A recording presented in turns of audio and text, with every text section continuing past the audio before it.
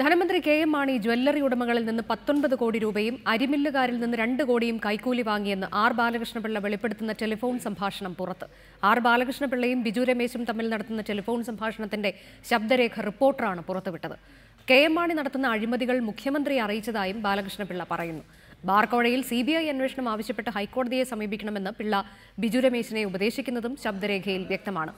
താൻ നടത്തിയ ഫോൺ സംഭാഷണം തന്നെയാണ് റിപ്പോർട്ടർ പുറത്തുവിട്ടതെന്ന് പിള്ള സമ്മതിച്ചു. ബാർക്കോഴ വിവാദം കത്തിനിൽക്കെ കഴിഞ്ഞ വർഷം നവംബർ ഒന്നിനാണ് കേരള കോൺഗ്രസ് ബി നേതാവ് ആർ ബാലകൃഷ്ണപിള്ളയും ബിജു രമേശും തമ്മിൽ ഫോണിൽ സംസാരിച്ചത്. കെ എം മാണി നടത്തുന്ന കോഴയുടെ വിശദാംശങ്ങൾ മുഖ്യമന്ത്രിയോട് താൻ പറഞ്ഞതായി ആർ ബാലകൃഷ്ണപിള്ള ടെലിഫോൺ സംഭാഷണത്തിൽ വെളിപ്പെടുത്തുന്നു. ഇത് മാത്രമല്ല ഉമ്മൻചാണ്ടിയടുത്ത് വേറെ ചില കാര്യങ്ങൾ ഞാൻ പറഞ്ഞു. രണ്ടു കോടി രൂപ ഈ റൈസ് മില്ലുകാരുടെ നിന്ന് വാങ്ങിച്ചു. സാറേ ബേക്കറിക്കാരെ നിന്ന് വാങ്ങിച്ചു രണ്ടു കോടി രൂപ. അല്ലേ ബേക്കറി അസോസിയേഷൻ ഉണ്ടല്ലോ. അവർ അവരെ ടാക്സ് കൂട്ടുമെന്ന് പറഞ്ഞ് അവരിൽ നിന്ന് രണ്ടു കോടി രൂപ മേടിച്ചു എന്നാണ് അവർ പറയുന്നത്. സ്വർണക്കടക്കാരുടെ ഇന്ന് പത്തൊൻപത് കോടിയാണ് മലബാർ ഗോൾഡുകാരൻ വാങ്ങിച്ചു കൊടുത്തത്. പത്തൊൻപത് കോടി ഇലക്ഷൻ കാലത്ത്. പിന്നെ ഇയാളെ ഈ ഇവരെ ഈ നെല്ല് കുട്ടനാട്ടിൽ നിന്നും പാലക്കാട്ടിൽ നിന്നും ശേഖരിച്ച് കുത്തി അരിയാക്കി സിവിൽ സപ്ലൈസ് കോർപ്പറേഷന് കൊടുത്തല്ലോ. അതെ.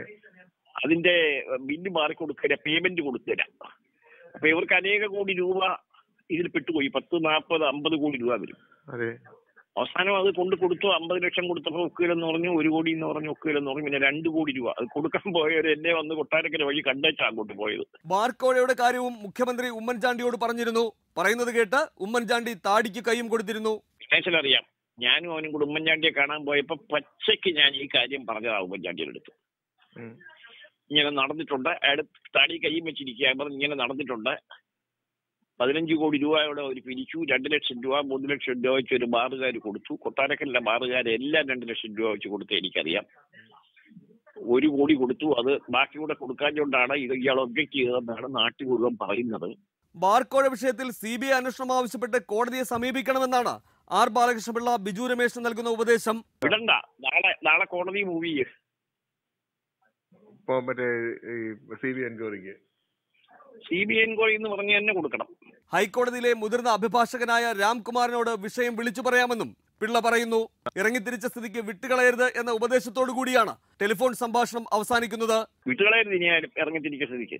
ശരി തീർച്ചയായിട്ടും. അതെ ഇറങ്ങിത്തിരിച്ച സ്ഥിതിക്ക്. ഇല്ല വിടില്ല. വിട്ട് വിട്ട് വിട്ടുകളയരുത്. വിടില്ല സാർ. കാരണം അതൊരു ഇന്റഗ്രിറ്റിയുടെ പ്രശ്നമാണ്. ബാർക്കോഴ വിവാദത്തിനപ്പുറം ധനമന്ത്രി കെ എം മാണിക്കെതിരെ ഗുരുതരമായ അഴിമതി ആരോപണങ്ങൾ ഉന്നയിക്കുന്ന മുതിർന്ന യു ഡി എഫ് നേതാവിന്റെ ടെലിഫോൺ സംഭാഷണമാണ് പുറത്തു വന്നിരിക്കുന്നത്. പിള്ളയുടെ ആരോപണങ്ങൾ ഇതിനകം രാഷ്ട്രീയ കേന്ദ്രങ്ങളെ പിടിച്ചുലച്ചു കഴിഞ്ഞു. യു ഡി എഫ് രാഷ്ട്രീയം വരും ദിവസങ്ങളിൽ കലങ്ങിമറിയാനാണ് സാധ്യത. ബിജു ഗോപിനാഥ് റിപ്പോർട്ടർ തിരുവനന്തപുരം.